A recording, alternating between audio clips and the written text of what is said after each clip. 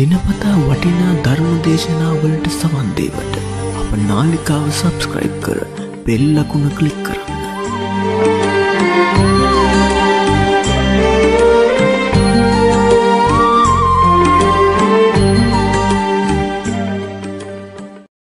පිංහතුනේ අද මේ ධර්මාණු ශාසනාවෙන් අපි කතා කරන්නේ මතක ශක්තිය ඇති කරගන්නේ කොහොමද නැනනුවන පහල කරගන්නේ කොහොමද යමක් ක්ෂණයෙන් වටහා ගන්න මට්ටමට හිත දියුණු කරගන්නේ මතක ශක්තිය ඇති කරගන්නේ කොහොමද අපේ බුදුරජාණන් වහන්සේ උන්වහන්සේගේ ධර්මයේ සඳහන් භාවනා ක්‍රම වේවා ධර්මයේ සඳහන් යම් යම් උපක්‍රම ඔස්සේ කොහොමද කෙනෙකුගේ හිත දියුණු කරගන්න මතක ශක්තිය දියුණු කරගන්න අවශ්‍ය ධර්ම කාරණා බුදුරජාණන් වහන්සේ අපිට පෙන්වලා දීලා තියෙන්නේ. අපි ඒ ඔස්සේ අද මේ ධර්මානුශාසනාවෙන් කාරණා රැසක් කතා කරන්න බලාපොරොත්තු වෙනවා. පින්වතුනි කෙනෙක් හොඳ දැනුගත් කෙනෙක් හැටියට නුවණ ඇති කෙනෙක් හැටියට මතක ශක්තිය ඥානීය ප්‍රඥාව ඇති කෙනෙක් හැටියට උපදින්නේ පෙර පිනක් නිසා. ඒ කෙනාට පෙර සංසාර පුණ්‍ය ශක්තියක් බලවත් වෙන්නට ඕනේ. මජ්ක්‍ධිම නිකාය චුල්ල කම්ම විභංග කියන සූත්‍රය බුදුහාඳුරෝ පෙන්නනවා. ඒ සංසාරිකව අවශ්‍ය පින තමයි එයා සතරේ යහපත් දේ මොකක්ද? අයහපත් දේ මොකක්ද? පින කියන්නේ මොකක්ද? පව කියන්නේ මොකක්ද? කුසල් කියන්නේ මොනවද? අකුසල් කියන්නේ මොනවද? හොඳ නරක මොනවද?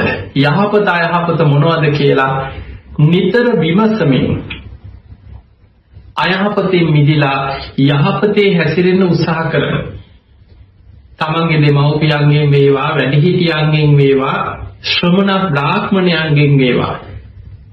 නිතර ගිහිල්ලා විමසනවා මොකක්ද යහපත? මොන වගේ දේවල් කරොත්ද යහපත් විපාක ලැබෙන්නේ? මොන වගේ දේවල් කරොත්ද තමන්ටත් අන් අයටත් අයහපතක් වෙන්නේ? එතකොට මේ විදිහට සසරේ හොඳ නරක යහපත අයහපත විමසමින් අයහපතෙන් වැළකීලා යහපතේ යෙදিলা සංසාර පුරුද්දක් හැටියට එවැනි යහපත පුරුදු කරගෙන ආපු අය උපෝපං ආත්ම භාවල ඥානවන්ත ප්‍රඥාවන්ත බොහොම උගත් අය හැටියට ඒ අයගේ නුවණ සංසාර පුරුද්දක් හැටියට ඒ අයට ඒ හැකියාව පහළ වෙලා පිහිටනවා කියලා ධර්මයේ සඳහන් වෙනවා. ඔය අතර බුදුරජාණන් වහන්සේ පෙන්නනවා චුල්ල කම්ම විභාග සූත්‍රයේ සමහර අය ඉන්නවා උපතින්ම නුවණ අඩුයි. සමහර වෙලාවට කොච්චර උගන්නන්න උත්සාහ කරත් කිසි උනන්දුවක් නැහැ. මතක තියාගන්න බෑ. මතක ශක්තිය පිහිටන්නේ කැමති නැහැ පොතක් බලන්න පාඩම් කරන්න ඉගෙන ගන්න කැමති නැහැ. ඒවට හිත යොමු වෙන්නෙම නැහැ. මේ කියපු දේ මේ අමතකයි. එතකොට ඒවට සංසාර පුරුදු බලපානවා. ඒ සසරේ කුසල් මොනවද අකුසල් මොනවද හොඳ නරක මොනවද යහපත මොකක්ද ඒ කිසිම දෙයක් විමසලා යහපතේ යෙදිලා නැහැ. බොහෝ වෙලාවට අකුසල පුරුදු පාපී අකුසල පුරුදු එක්ක සංසාර පුරුද්දක් හැටියට එවැනි පුරුදු එක්ක ජීවත් වෙච්ච අය උපෝපං ආත්ම භාවවල පෙර මොකක් හෝ පිනකින් මනුස්ස ලෝකෙ ඉපදුනත් නුවණ කල්පනාව අඩු මතක ශක්තිය අඩු සමහර වෙලාවට මෝඩ පුද්ගලයෝ හැටියට. යනි කියන දේ තේරෙන්නේ නැහැ. කොච්චර කියලා දෙන්න උගන්වන්න ගුරුවරු කොච්චර උත්සාහ කරත් ඒ කිසි දෙයකට හිත යොමු වෙන්නේ අන්න එවැනි මට්ටමක් කෙනෙකුට එතකොට අපිට පේනවා කෙනෙකුගේ උගත්කම හෝ නූගත්කම තුළ සංසාර පුරුදු යම් මට්ටමින් හරි බලපාන. ඒක 100%ක් නොවෙන්න පුළුවන්. මොකද අපිට මේ සංසාර පුරුද්දම මතුවෙනවා කියලා අපි උත්සාහ කරන්නේ නැතුව වීරිය කරන්නේ නැතුව ඉගෙන ගන්න නැතුව හිටියොත් මේ සසර පුරුද්දට කියලා එකපාරට නුවණ පහළ වෙනව නෙමෙයි ඕනෑම පුද්ගලයෙකුගේ පින මතුවෙන්න නම් උත්සාහය වීරිය අවශ්‍යයි දැන් අපි ගමු කවුරු හරි දැන් මැණික් පතලක් හාරන කෙනෙක් හිතන්න එතකොට ඒ කෙනා උත්සාහ කරනවා ඔන්න මැණික් හරියටම තියෙනවා කියලා හිතන්න. නිකම් මැණික් ටික උඩට ඇවිල්ලා අපට එන්නේ නැහනේ. තැන හරි වුණත් මැණික් තියෙනම තැනක් වුණත් උත්සාහයෙන් වීරියෙන් කැපකිරීමෙන් තමන්ගේ අරමුණ කරා යන්න ඕනේ. උදැල්ලක් දෙකක් ගහලා මේක හරියන්නේ මට නම් බෑ කම්මැලි කියලා අතහැරියොත් ඔහුට තමන්ගේ ඉලක්කය කරා යන්න බැරි වෙනවා. ඒ නිසා ඕනෙම දෙයක අධ්‍යාපනයේදී වේවා විභාගයක් ජය ගන්න වේවා ව්‍යාපාරයක් කරන කෙනෙකුට ව්‍යාපාරික ශේෂ්ත්‍රයෙන් වේවා ඕනම කෙනෙකුට තමන්ගේ දක්ෂතා මතු කරගෙන ඉදිරියට යන්න නම් උත්සාහය වීර්ය කැපකිරීම ඒව අවශ්‍යයි. හැබැයි මේ සියල්ල තිබුණා සමහර වෙලාවට සංසාර පින නැත්නම් ඔබ බලන්න සමාජ සමහර අය ඉන්නව ගොඩාක් මහන්සි වෙනවා. දියුණු වෙන්න ගොඩාක් උත්සාහ කරනවා, කැප වෙනවා, මහන්සි වෙනවා. හැබැයි කරන්න යන හැම දෙයක්ම කඩාගෙන වැටෙනවා. මොකක් හෝ කරදරයක් විපතක් එතකොට ඒ පසුපස අපිට නොපෙනෙන සංසාරික කුසල කුසල කර්ම පිළිතලා තියෙන්න පුළුවන්. දැන් පින්තුනි මේ බුද්ධ ශාසනය තුල ගත්තා. ශ්‍රාවකයෝ හැමෝගෙම මතක ශක්තිය, ඥාන ශක්තිය, හැකියාවන් එකම ස්වරූපයෙන් පැවතුනේ නැහැ. සාරිපුත්ත මහරහතන් වහන්සේ ප්‍රඥාවන්තයන්ගෙන් අග්‍රයි. ධර්ම සේනාධිපතීන් වහන්සේ හැබැයි මොකද මහරහතන් වහන්සේ 이르දිවන්තයන්ගෙන් අල්වයි. උන්වහන්සේට තිබුණේ 이르දිමේ හැකියාව වෙනම පැහැතක්. ඊළඟට මහා කාශ්‍යප මහරහතන් වහන්සේ දූතාංගධාරී භික්ෂුන් වහන්සේලාගෙන් අග්‍රයි.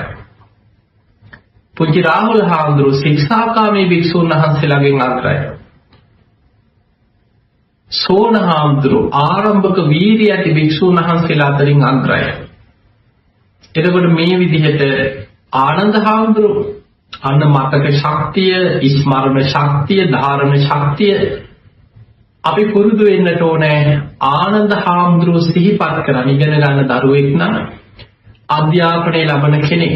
දැන් බලන්න අපි බොහෝ වෙලාවට අපි සමහර වෙලාවට අපේ ජීවිතයේ පරමාදර්ශී පුද්ගලයෝ හැටියට අපි ඔබ වෛද්‍යවරයෙක් වෙන්න හිතනවා නම් ඉංජිනේරුවෙක් වෙන්න හිතනවා නම් මේ සමාජයේ සමහර අය දිහා බලලා හිතනවා මමත් මේ කෙනා වගේ උත්සාහ ගන්නවා. මම මෙන්න මේ වගේ ඉහළට යනවා. එතකොට මේ බුද්ධ ශාසනය තුල අපි තුනුරුවන් වන්දනා කරනකොට බුදුහාඳුරන්ගේ ශ්‍රාවකයෝ තෙරුවන් සරණ ගිය කෙනෙක් නම් ඉගෙන ගන්න දරුවෙක් ආනන්ද හාමුදුරුවෝ සිහිපත් කරලා උන්වහන්සේ තමයි මේ බුද්ධ ශාසනය තුල සතිමන්තානම්. සිහිනුවන ඇති භික්‍ෂූන් වහන්සේලා අතරින් අග්‍රය. දුතිමන්තාන යමක් ෂණීන් වැටහෙන භික්‍ෂූන් වහන්සේලා අතරින් අග්‍රයි. මතක ශක්තියෙන් අග්‍රයි. ධාරණ ශක්තියෙන් අග්‍රයි.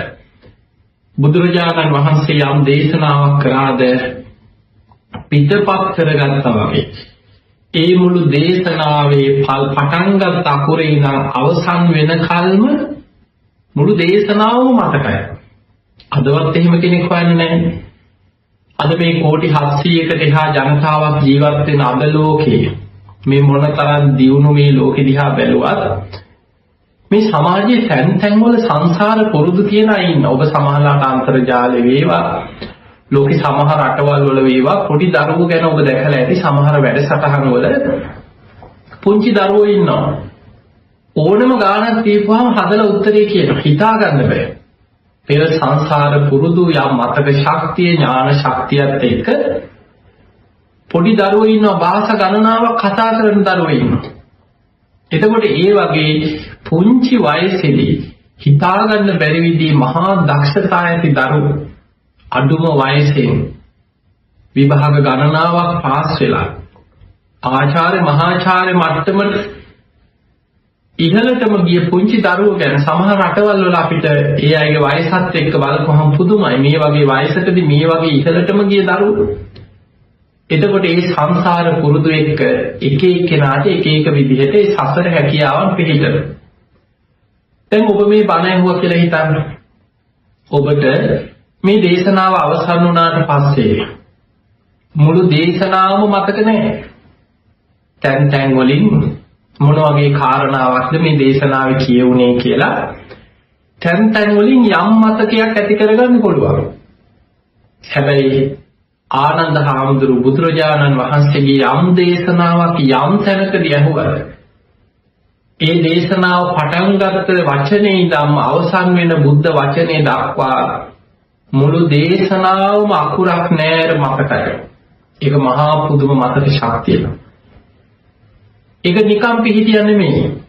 සසරේ කල්ප ලක්ෂයක් පාරමී පිරුවා සසරේ පින් කරේම බුදු කෙනෙකුගේ අග්‍ර උපස්ථායක පදවියට පත් වෙන්නත් බුදුරජාණන් වහන්සේ දේශනා කරන යම් ධර්මයක් ඇද්දී සියලු ධර්ම කොටස් ඒ විදිහටම ධාරණය කරගෙන මතක තියාගෙන අනාගතයේ ධර්මයේ ආරක්ෂාව වෙනුවෙන් උන්වහන්සේ තමයි සියලු ධර්ම කොටස් මතක තියාගත්තේ. පළවෙනි ධර්ම සංගායනාවේදී ආනන්ද මහරහතන් වහන්සේ තමයි 84000ක ධර්මස්කන්ධේ. උන්වහන්සේගේ තේර ගාථාවේ සඳහන් වෙනවා මම බුදුරජාණන් වහන්සේගෙන් අහලා 82000ක ධර්මස්කන්ධ මතක තියාගත්තා. ආනන්ද හාමුදුරු කියනවා. ශ්‍රාවක දේශනා හැටියට 2000ක ධර්මස්කන්ධයක් මම ධාරණය කරගත්තා. මම දරාගෙන ඉන්න සම්පූර්ණ ධර්මස්කන්ධය 84000යි කියන.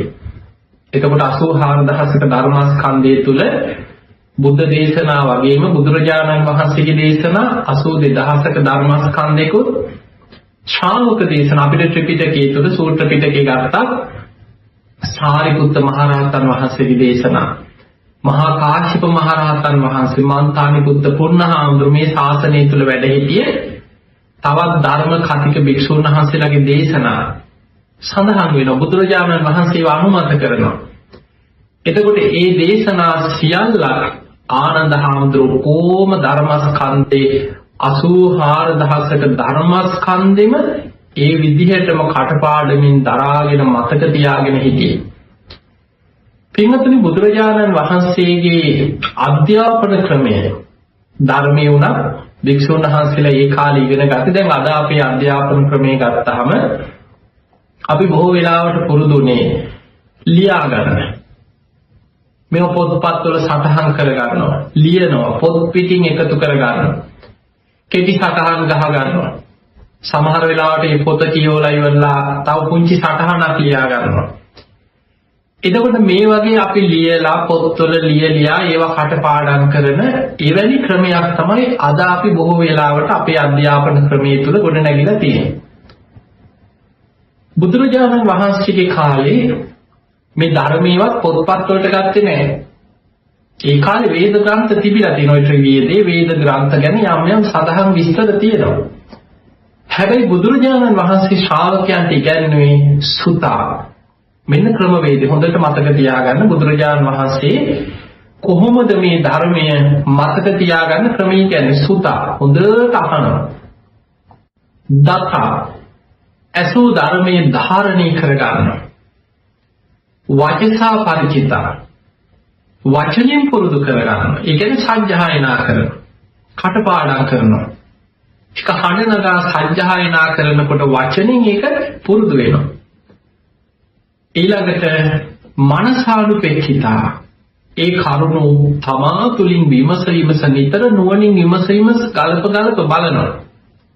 දිට්ඨියා සුප්‍රතිවිද්දා අන්න එතකොට ඒක තමන්ගේම ජීවිතයේ කාරණයක් අවබෝධයක් බවට තමා තුළින්ම පත් කරගන්නත් ලැබෙනවා. ඔන්න ඔය ක්‍රමේ තමයි බුදුරජාණන් වහන්සේ අපිට ධර්මයේ මතක තියාගන්න ඉගැන්වෙන්නේ. දැන් අපේ බුදුහාඳුර පිරිනිවන් පෑවට පස්සේ 500ක් රහතන් වහන්සේලා එකතු වෙලා පිරිනිවන් පාල මාස 3ක් ගියතර ප්‍රථම ධර්ම සංගායනාව කරා.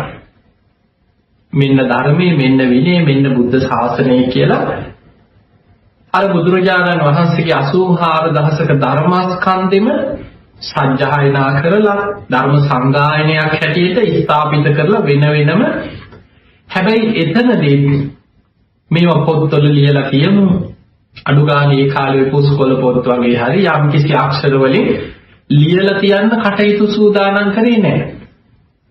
එතනදි කරේ ඒ ඒ රහතන් වහන්සේලාගේ ශිෂ්‍ය අනුශිෂ්‍ය පරම්පරාවල් වලට වෙන වෙනම කොටස් පැවරුවා. දීඝනිකාය වෙනම පැවරුවා. මෙන්න මේ දීඝනිකාය මේ කොටස් ටික කටපාඩම් කරගෙන යන. මජ්ක්‍ධිම නිකාය වෙනම පැවරුවා.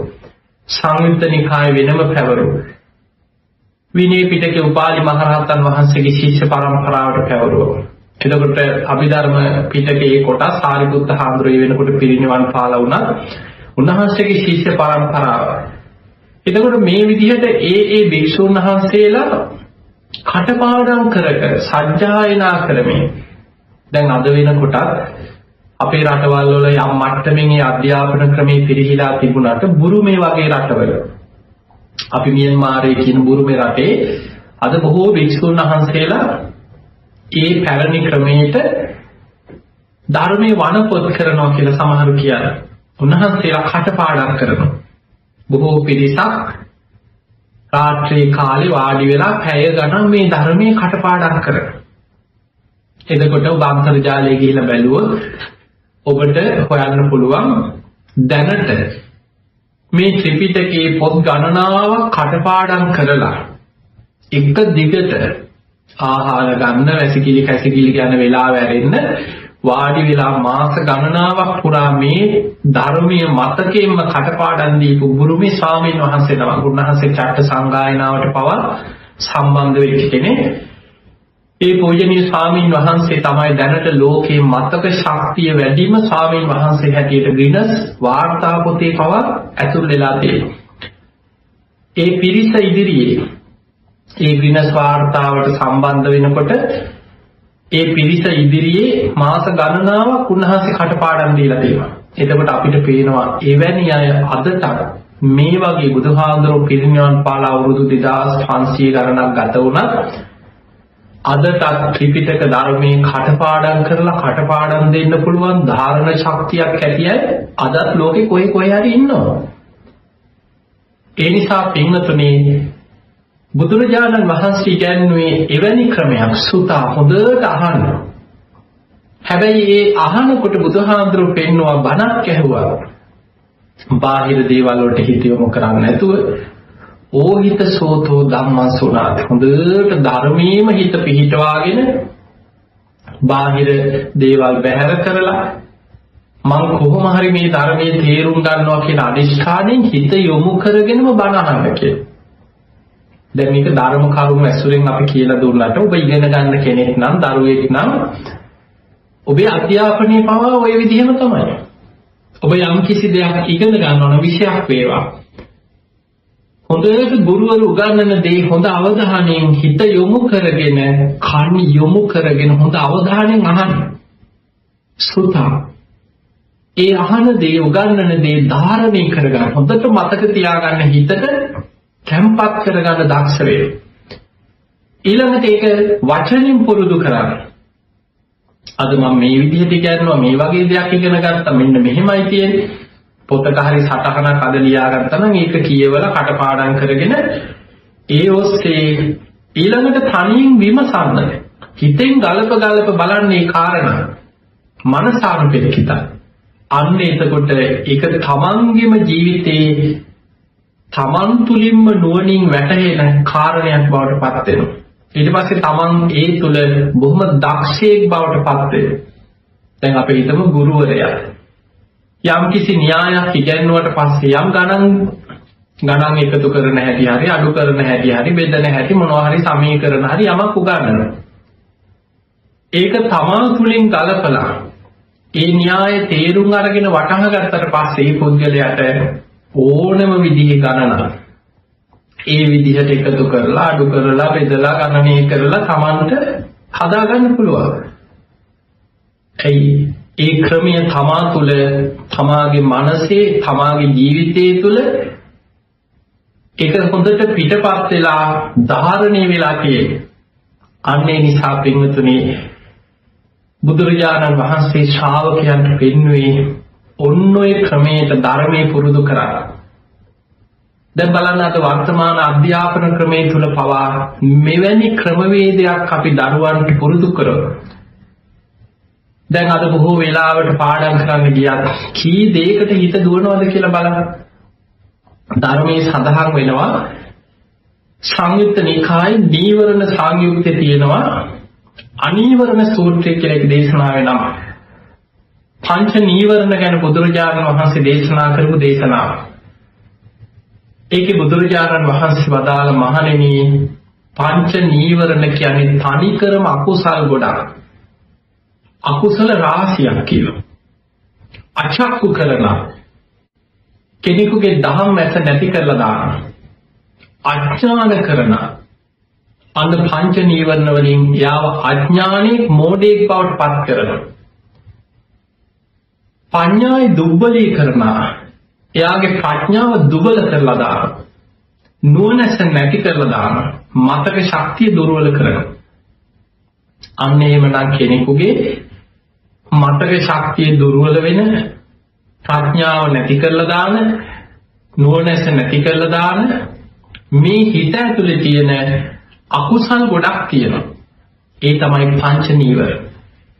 ඔබ මේ පංච නීවරණ ගැන හරියට තේරුම් ගත්තොත් ඔබට හිතේ කොච්චර මේවා ප්‍රායෝගිකද කියලා.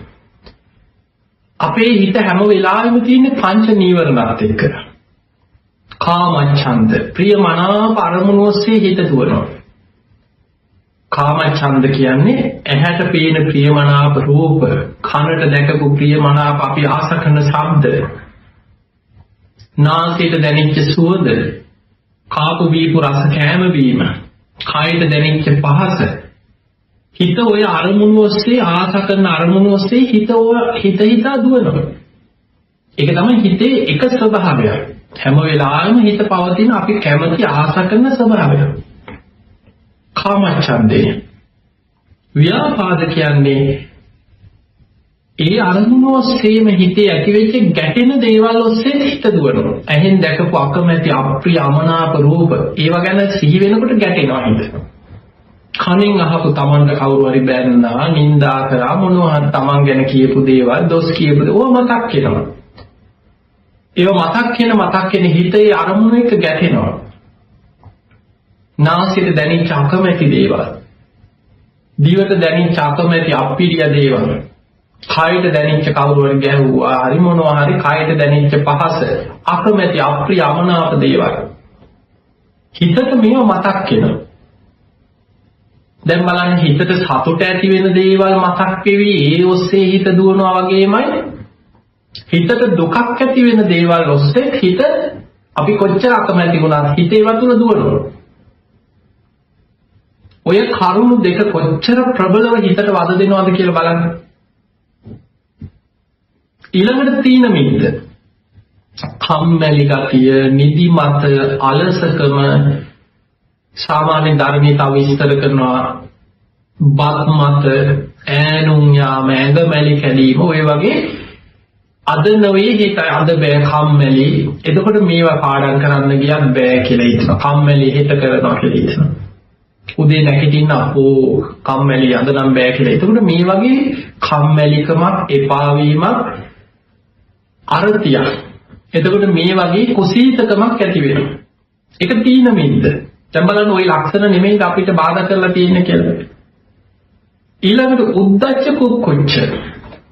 උද්දච්ච කියන්නේ හිතේ විසිරීමයි විසිරීමත් එක්ක ඇති වෙනවා පසුතැවීමක්. අනේ මට මේක කරගන්න බෑනේ කියලා පසුතැවෙනවා. දැන් බොහෝ වෙලාවට වර්තමානයේ බොහෝ දරුවෝ දිහා බලන්න හිත එක අරමුණක තියාගන්න හරිම අමාරුයි. ගොඩක් මේ දුරකථන වලට කම්පියුටර් ගේම් වලට ෆෝන් වලින් ගේම් ගහන්න ඒවට හිත යොමු වෙලා එක්ක කාටුන් බලන්න ටීවී බලන්න වෙන වෙන බාහිර ඒවට හිත පෙළඹුණාට පස්සේ පොඩි වෙලාවක්වත් ඒ කර්මුණක හිත තියාගන්න බෑ. හිත දුවනවා. හිත කලබලයි. හිත විසිරෙනවා. ඒවටම හිත දුවනවා. එතකොට එහෙම දුවනකොට දැන් අපි ගමු ඇත්තටම එයාටම වමනාව තියෙනවා. විභාගේ ළඟයි පාඩම් කරන්න ඉගෙන ගන්න Tamanටම වමනාව තියෙනවා. මේ දෙමාපියෝ කියන නිසා නෙමෙයි. හැබැයි Tamanගේ හිත දුවනවා අර වගේ අරමුණු ඔස්සේ අන්න එතකොට Tamanට මැටි වෙනවා අනේ මට මේක කරගන්න බෑනේ අයියෝ මට මේක කරගන්න බෑනේ මේක මහ වදයක් නේ මට මේක එක දේවල් මතක් වෙනවා මගේ හිත මේවටම දුවනවා කියලා අන්න අර හිත විසිරෙන්න විසිරෙන්න තමන් පසුතැවෙනවා. ඒ පසුතැවීමත් එක්ක තව තවත් හිත විසිරෙනවා. උද්දච්ච කුක්කුච්ච. ඊළඟ එක තමයි විචිකිච්ඡාව සැක සංකා ඇති වෙනවා. අර පංච නීවරණත් එක්කම ඒවයම ලක්ෂණත් එක්ක දැන් සැක හිතෙනවා. මට මොකක්ද දන්නේ ඇයි මට මෙහෙම වෙන්නේ? මේක මගේ කර්මයක්ද දන්නේ මට පින්මදිත් දන්නේ කවුරු හරි මොනවා හරි කරලත් දන්නේ ඔය වගේ දේවල් හිතෙනවා. අනු හෝනියම් කරන් දන්නේ රටේ නැති දේවල් හිතට එනවා. මට මේක කරගන්න බෑනේ කියලා යම් යම් සැක සංකා ඇති වෙන්න පටන් ගන්නවා. විචිකිච්ඡාව සැකේ. ඔය ලක්ෂණ පහ බලවත් මතුවෙන්න මතුවෙන්න මතක ශක්තිය යටපත් වෙනවා. නුවණ යටපත් වෙනවා. පඤ්ඤා දුබ්බලීකන ප්‍රඥාව දුබල වෙලා යනවා. අඥානකන තමන් අඥානයෙන් බවට පත් වෙනවා. තමන්ගේ මතක ශක්තිය සිහිනුවන දුර්වල වෙලා යනවා එහෙමනම් දැන් බලන්න ඔබට දැන් දැන් මේ ටික තේරෙනකොටම ඔබට තේරුම් යන්න ඕනේ භාවනාවක වටිනාකම. අපි භාවනා කරනවා කියලා කරන්නේ සමත භාවනාවෙන් උගන්වන්නේ මේ පංච නීවරණ යටපත් කරලා හිත එකඟ කරගන්න හැටි. පංච නීවරණ යටපත් කරලා හිතක් එකඟ වුණාට පස්සේ අන්න එකඟ වෙච්ච ඒකාග්‍රතාවයෙන් යුක්ත මනසක් තුළ හිත කාමච්ඡන්දේ ඔස්සේ දුවන ගතිය අඩුයි. ව්‍යාපාදයේ තරහ ඔස්සේ හිත දුවන්නේත් නැහැ.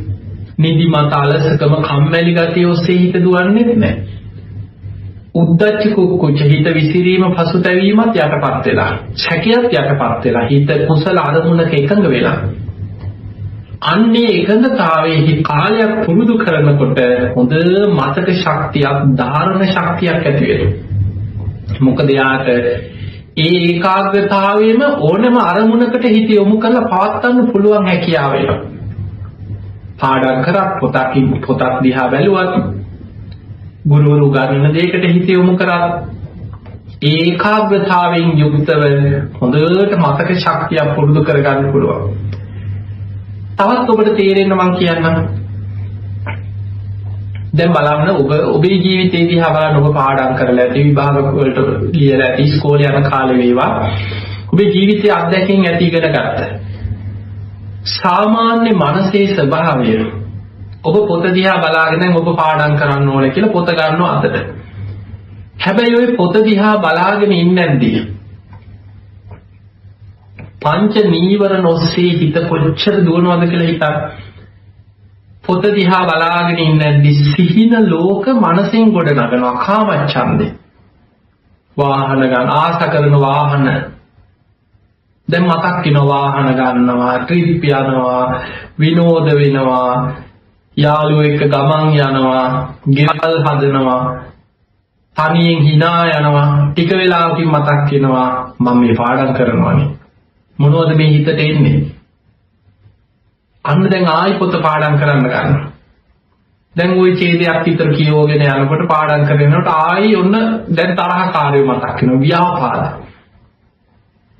කවුරු හරි දැනපු එකක් ළමයි එක්ක ඇති වෙච්ච ප්‍රශ්නයක් අම්මා තාත්තා සැර දැම්ම නම් කොයි එහෙම එකක් ගුරුවරු ගැහුවා නම් එහෙම එකක් ළමයි එක්ක ප්‍රශ්නයක් නම් එවැනි දෙයක් කවුරු හරි හින්ට් එකක් පාස් කරා නම් මොනවා හරි අපි අකමැති අප්‍රිය අමනාප අරමුණු හිතට වද දීපු ඒවා ඒව මතක් වෙනවද?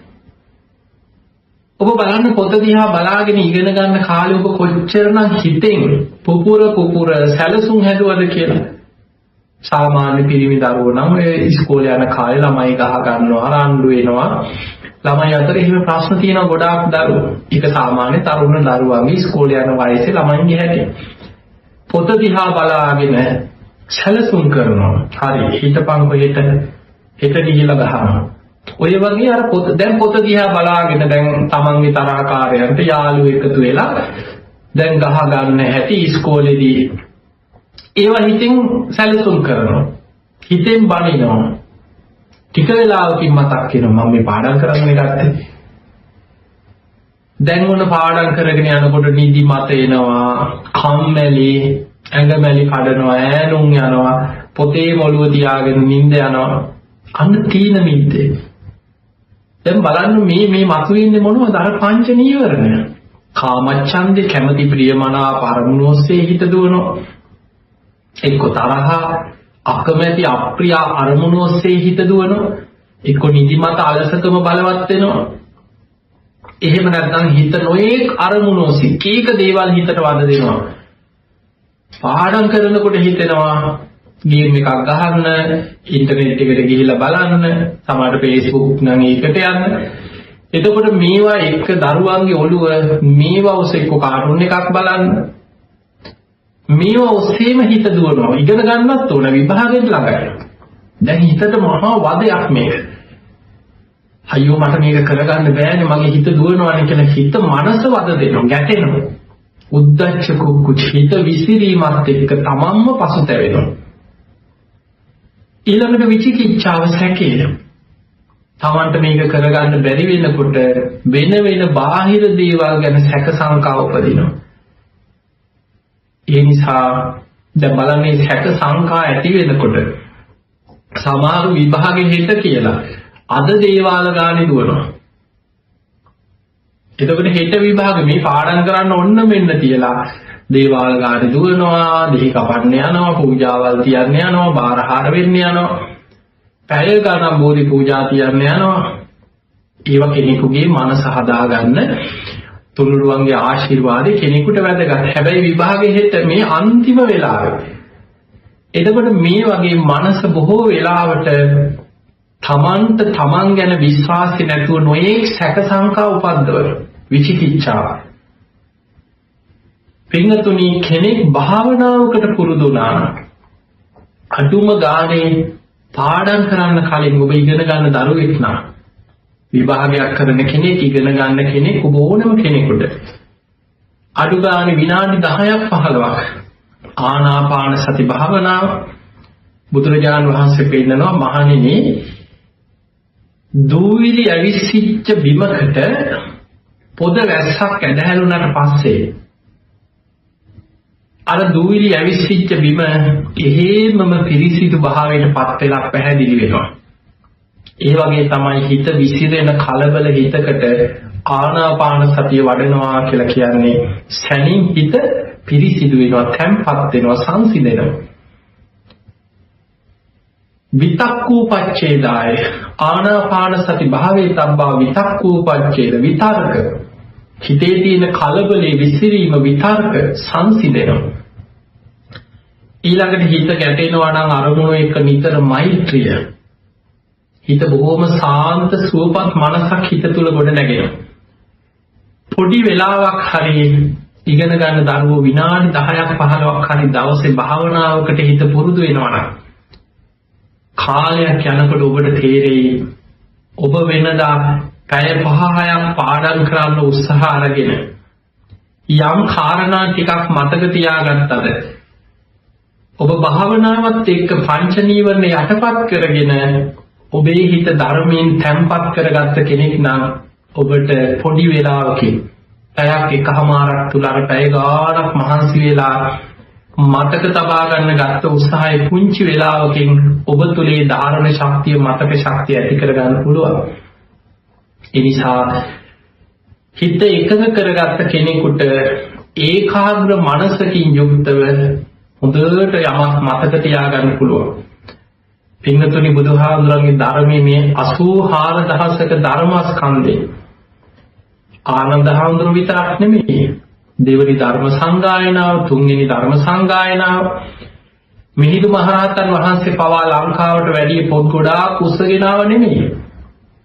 එදා මිහිඳු මහරහතන් වහන්සේ ඇතුළු ඉත්තිය උත්තිය සම්බල බද්දසාල සුමන සාමණේරයන් වහන්සේ බණ්ඩුක උපාසක මේ පිරිස ලංකාවට එන්නේ. පොත් ගොඩාක් උස්සගෙනවත් නැවෙන් වෙනම පොත් ගෙන්න ගත්තවත් නෙමෙයි. ඒ සියලු ධර්මස්කන්ධ ධාරණය කරගෙන මතක තියාගෙන බුදුහාඳුරන්ගේ ක්‍රමයේ තිබුණේ ශ්‍රාවකයන්ට ධර්මයේ කටපාඩම් කරනවා.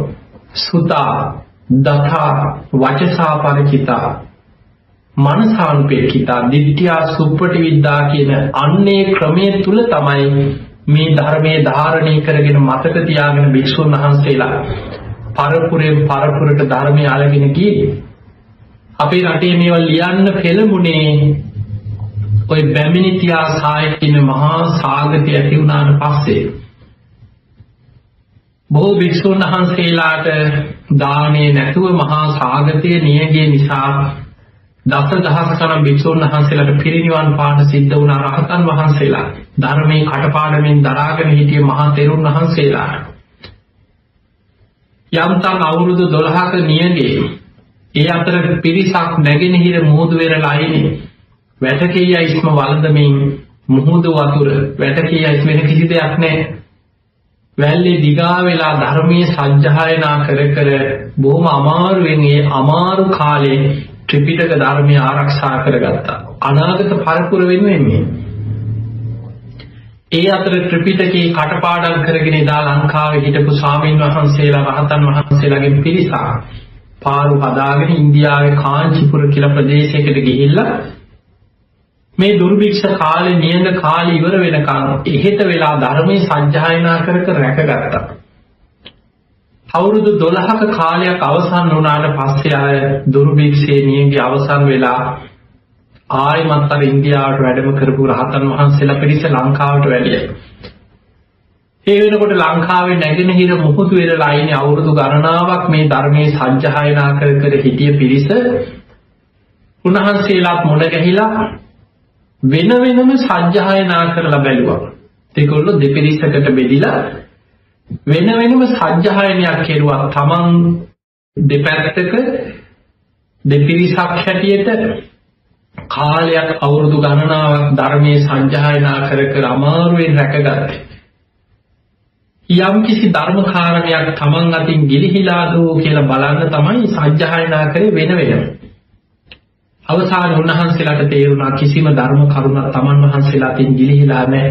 මොකද මේ සාමාන්‍ය අය නෙමෙයි රහතන් වහන්සේලා. සති ඉන්ද්‍රිය ඉහළටම වඩපු අය සිහිමුලා වෙන අය නෙමෙයි. හැබැයි උන්වහන්සේලා එතනදි තීරණය කරා අනාගතේ මීටත් වඩා දරුණු නියගයක් දුර්භික්ෂයක් ව්‍යසනයක් විපතක් මේ රටේ ලෝකේ ඇති වුණොත් මේ ධර්මයේ කටපාඩමින් පවත්වගෙන යන ක්‍රමය අපිට ආරක්ෂිත නොවෙන්න පුළුවන්. ඒ නිසා වෙනත් ක්‍රමයක් අපි භාවිතා කරලා මේ ධර්මය ආරක්ෂා කරන්න තව ක්‍රමයක් යොදාගමු කියලා. ඒ අනුව තමයි එහෙනම් අපි මේක ලියමු. පුස්කොළ පොත්වල ලියලා තියන්න තීරණය කරේ. ඒ කාලේ පුස්කොළ පොත් තිබුණේ. ඒ පුස්කොළවල එදා 500ක් මහරහතන් වහන්සේලා මාතලේ අලවිහාරයේදී මේ ත්‍රිපිටකයේ සිංහල අක්ෂර වලින් ග්‍රන්ථාරූඪ කරලා තිබුණා. පොත්වල ලිව්වා. ග්‍රන්ථාරූඪ කරනවා කියන්නේ ඒක. ඒ විදිහට තමයි පොත්වලට ආවේ. ඔය වගේම තුන්වෙනි ධර්ම සංගායනාවෙන් පස්සේ අද අපි කියන ওই බුරුමේ එහෙම නැත්නම් මියන්මාරයේ කියන රටට ඒ ගිය ධර්ම දූත පිරිස එහි රත්තරම් පත්තිරු වල මේ වගේම සටහන් කරලා ලියලා තියලා තායිලන්තයේ සියම් දේශය කියලා අපි හඳුන්වනවා එහෙට ගිය ධර්මදූත පිරිස කිරිකරුණ ගල්වල කොටලා තියෙනවා. එතකොට ඒ ඒ වගේ එක එක රටවල් වල ඒ ඒ අයට ඇතිවෙච්ච යම් යම් විපත් ඒ කාලවල ඒ ධර්මයේ ආරක්ෂා කිරීම පිණිස සමහරු කිරින කරුණ ගල්වල කෙටුවා. සමහරු රත්තරන් පත්තිරවල ලිව්වා අපේ රටේ කුස්කොළ පොත්වල ලිව්වා. මේ විදිහට ග්‍රන්ථවලට පොත්වලට අරගෙන ආරක්ෂා කරගන්න වෙනත් ක්‍රම කල්පනා කරේ එවැනි නියඟ දුර්භික්ෂ විපත් ඇති වුණාට පස්සේ. ඒ නිසා එතෙක් පරම්පරාවෙන් පරම්පරාවට මේ ධර්මය ආරක්ෂා කරගෙන ආවේ කටපාඩමින් දරාගෙන ආපු ගමනක් තියෙන මේක පොතක් දෙකක් නෙමෙයි. 84000ක මහා ධර්මස්කන්ධය. ඒ නිසා පින්වතුනි අපිට උත්සාහ කරොත් වීරිය වැඩුවොත් විශේෂයෙන් අපි තුල තියෙන මේ පංච නීවරණ යටපත් කරගන්න අපි යම් භාවනා ක්‍රමයක් පුරුදු කරගත්තොත් ඔබටම හිතා ගන්න බැරි වෙයි ඔබ තුල තියෙන මතක ශක්තිය ධාරණ ශක්තිය මේ හිත තුලින් ඔබට විශාල මානසික දියුණුවක් චිත්ත දියුණුවක් ධාරණ ශක්තියක් ඇති කරගන්න පුළුවන් පින්වතුනි සිහිය දියුණු කරන්න දැන් බුදුහාඳුරෝ සතර සතිපට්ඨානෙ අපිට පෙන්වනවා. සතර කායානුපස්සනා, වේදනානුපස්සනා, චිත්තානුපස්සනා, ධම්මානුපස්සනා. සති සිහිය ප ဋ ාණය කියන්නේ පිහිටවලා හිත දියුණු කරගන්න ක්‍රම සතර සතිපට්ඨාන භාවනා ක්‍රම ගණනාවක් තියෙනවා.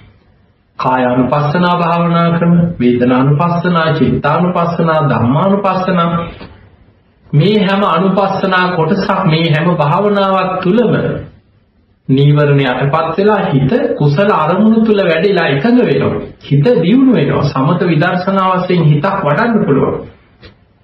එහෙම සිහිය වැඩෙනකොට සිහිය අපේ ඉන්ද්‍රියක් බවට පත් වෙනවා. සති ඉන්ද්‍රිය.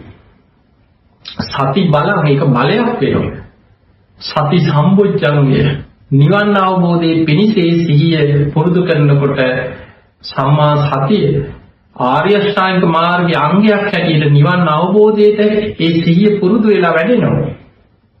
පින්වතුනි දැන් බලන්න අපි යමක් සිහි කර කර නෙමෙයිද මතකෙට ගන්න කියලා. මේ සිහිය දුර්වල වුණොත් මොකද වෙන්නේ? සිහි මුලා වුණාට පස්සේ මතකෙ නැති වෙනවා. දැන් බලන්න බොහෝ දෙනෙක් භාවනාවක් පුරුදු කරලා නැත්නම් සතර සතිපට්ඨානේ වඩලා නැත්නම් සිහිය ඉන්ද්‍රියක් හැටියට බලවත් කරලා නැත්නම් බොහෝ දෙනෙකුට වෙන්නේ වයසට යන්න යන්න මේ සිහිය දුර්වල වෙනවා. කය දුර්වල වෙනවා වගේ බොහෝ දෙනෙක් වයසට යනකොට සිහි කල්පනාව අඩු වෙනවා. දැන් ඔබ මහලා ඇදෙන සමහර කෙනා අනේ දැන් අපිට ඉස්සර වගේ නෙමෙයි මේ ඇහුව මේ මතක නැහැ කියන්නේ. සමහරු කියනවා දැන් ඉතින් අපි වයසයිනේ අපිට හරියට අමතක වෙනවා. අපිට දැන් මතක නැහැ. එහෙම අමතක කොච්චර කය දුර්වල වුණත් වයසට ගියත් සිහිය දියුණු කරලා සතර සතිපට්ඨානය වඩපු කෙනෙකුට නම් මතක ශක්තිය දුර්වල වෙන්නේ ඒ නිසා පින්වතුනි සිහිය දියුණු කරගන්න සිහිය දියුණු වෙනවා කියන ඔබ භාවනාවක යෙදෙනවා සිහිය දියුණු කරනවා කියලා කියන ඔබේ මතක ශක්තිය ඉබේම වැඩෙනවා. ඔබේ ධාරණ ශක්තිය වැඩෙනවා. එහෙම සිහිය දියුණු වෙනකොට සිහි මුලා වෙන්නේ දැන් බලන්න අපේ සිහිය කොච්චර දුර්වල වෙන්න පුළුවන්ද කියලා ඔබම හිතන්න. මේ හොඳට ඉගෙන ගත්ත අය හොඳ රස්සාවල් කරපු අය සමාජ සිහිනුවණින් හොඳට කල්පනාවෙන් වැඩ කරලා යම් කිසි සමාජ දැනුමක් ඇතුව යම් පිළිවෙලක් ඇතුව ජීවත් වෙච්ච මිනිස්සු. හැබැයි වයසට යන්න යන්න සිහිය දියුණු නොකිරීමේ සතිපට්ඨානෙ නොඇදීමේ ප්‍රතිඵලය භාවනාවකට හිත පුරුදු නොකිරීමේ ප්‍රතිඵලය සමහර වයසට යන්න යන්න කෑවද බීවද මතක නැහැ. දරුවන් දුරන්න බෑ සමහරුන්ට. වයසට යනකොට මේ කවුද කියලා අහනවා. ළමයින්ගෙන්. මං කෑවද කියලා අහන මේ කාලේ ඉවර වෙලා කෑවේ නැහැ කියලා. සමහරුන්ගේ තමන්ගේ ඇඟේ ඇඳුමක් තියනවද මතක නැහැ. නොකන දේවලුත් කන මට්ටමට ධන ගාන බඩ ගාන පොඩි උන් වගේ සමහර කියවනවා. බොහොම නරක වචන කියනවා. හොඳ නරක කුසල් අකුසල් තන නොතන තමන්ට සිහි කල්පනාව නැහැ. ඔහි කියවනවා දොඩවනවා එතකොට බලන්න මනසක් ඒ මට්ටමට දුර්වල වෙලා යන්නත් පුළුවන්. දියුණු කරන්න පුළුවන්. ඉහළටම වඩන්න පුළුවන් මනසක් දියුණු නොකිරීම තුළ සිහි විකල් වෙලා සිහිය දුර්වල වෙලා ඊටමත් අසරණ මට්ටමටම පත් වෙන්නත් පුළුවන්. ඒ නිසා පින්වතුනි අපිට මේ මනුස්ස ජීවිතයක් ලැබිච්ච අපිට ලැබිච්ච උතුම්ම දායාදේ තමයි සතර සතිපට්ඨානයි. බුදුහාමුදුරුවෝ පෙන්වුවේ මහණෙනි තථාගතයන් වහන්සේ නැමැති පිය උරුමේ ශ්‍රාවකයන්ට ලැබෙන දායාදේ තමයි සතර සතිපට්ඨාන. බුදුහාමුදුරන්ගෙන් අපිට ලැබිලා තියෙන දායාදේ සතර සතිපට්ඨාන. මේ සතර සතිපට්ඨාන ජීවිතේ පුරුදු කරගන්න ඔබ දක්ෂ වෙයි. ටික ටික හරි. භාවනාවකට හිත පුරුදු කරගන්න. ආනාපාන සති භාවනාව අඩුම ගානේ මෛත්‍රී භාවනාව හරි. ඔබට මේකේ ආනිසංස ඔබේ ජීවිතය තුළ පුරුදු කරගන්න පුළුවන් පුංචි දරුවෝ ගෙවල් වල දෙමව්පියෝ ඔබ ඉගෙන ගන්න දරුවෝ ඔබේ පුතාලා දුවලට පුංචි වයසේ ඉඳන් පොඩි භාවනාවකට හරි අඩුම ගානේ මෛත්‍රී භාවනාවකට හරි දරුවන්ව පුරුදු කරවන්න. විනාඩි 10ක් 15ක් හරි ඇස් පියාගෙන වාඩි කරලා දරුවෝ දෙමව්පියෝ එකට වාඩි වෙලා ගෙවල් වල භාවනා කරන මට්ටමක් ගෙවල් වල හදාගන්න. සමහරෙකුට වීල් වගේ හිතෙන්න පුළුවන් මොකද අපි දන්නවා බොහෝ පිරිසක් සමහර ගෙවල් වල බුදුන් වදින්න ලැජ්ජයි ගාතාවක් කියන්නේ. ඔබ බලන්න සමහරු ගාතාව තව කෙනෙකුට ඇහෙන්න ගාතාවක් කියන්නේ බුදුන් වදින්න සමහරු නිකන් ඒක ලැජ්ජාවක් වගේ හිතනවා. ඒක තත්ත්වයට හොඳ නෑ. මේ මට්ටමට පිළිහිලා ඉන්නේ. ඒ නිසා ගෙවල් වල බුදුන් අඳින පිරිත් ටිකක් කියන භාවනා කරන දරුවෝ දෙමව්පියෝ එකට එකතු වෙලා බණ භාවනා කරන එහෙම මහා පින්වන්ත අයත් මේ සමාජෙ මේ ලෝකේ ඉන්නවා. ලෝකෙ කොහේ වුණත් ඉන්නවා. එවැනි අය තමන්ගේ ජීවිතේ මොනතරම් ප්‍රශ්න ගැටලු පීඩා අටලෝ දහම ඉදිරි අකම්පිත මේ ලැබිච්ච මනුස්ස ජීවිතය තුළ මෙලෝ පරලෝ දෙකම ජය ගන්න මට්ටමට හිත වඩාගෙන බොහොම සතුටෙන් ජීවිතේ පවත්වාගෙන යනවා. ඒ නිසා අපි බාහිර දේවල් ඔස්සේ පංච කාමයන් ඔස්සේ සැපය සතුට හොයන්න කොච්චර උත්සාහ ගත්තා මිනිස්සුන්ට අවසානයේ පීඩනයක් දුකක් පසුතැවීමක් විඳවීමක් තමයි අවසන් වෙන්නේ. ඇයි අපි කැමති වුණත් අකමැති වුණත් ලාභ වගේමයි අලාභත් ලැබෙනවා. සැප වගේමයි දුකත් ලැබෙනවා. ප්‍රශංසා වගේමයි නිന്ദා විඳින්න සිද්ධ වෙනවා. යසායස පිළි පරිවාර සම්පත්තිය වගේමයි කාත් කවුරුත් නැතුව අසරණ වෙන්නත් පුළුවන්. හැබැයි ධර්මයක් නැතුව කෙලෙස් ස්වලව ජීවත් වෙන කෙනා ලාභයට ඇලෙනවා. සැපේට ඇලෙනවා. යසසට ඇලෙනවා. කීර්තියට ඇලෙනවා. ඒවටම ආස කරනවා. ඒව ඔස්සේම දුවනවා. ඒව බදා ගන්නවා මනසේ. හැබැයි සියල්ල අනිත්‍යයි හැමදේම වෙනස් වෙනවා ෂණින් සියල්ල වෙනස් වෙන්න පුළුවන් අද ಗುಣ කියපු අයම හෙට බණින්න පුළුවන්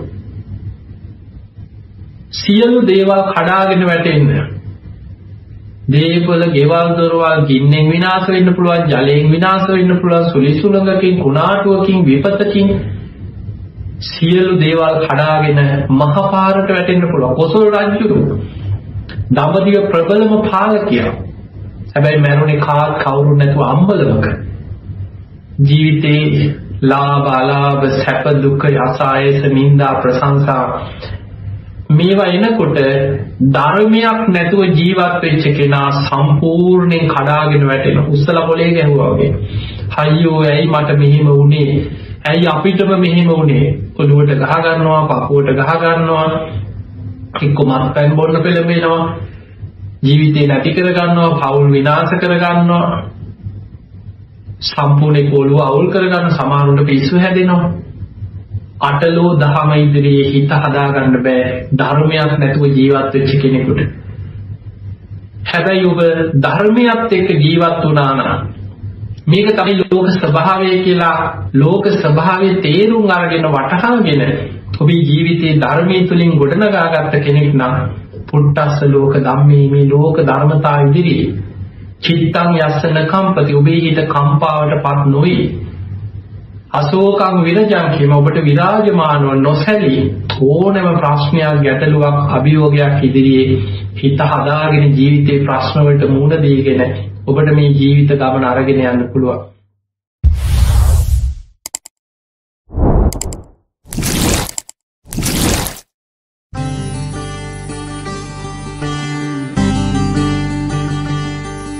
දිනපතා වටිනා ධර්ම දේශනාවලට සවන්දේවට අප නාලිකාව සබස්ක්‍රයිබ් කර බෙල්ලකුණ කලික් කරන්න.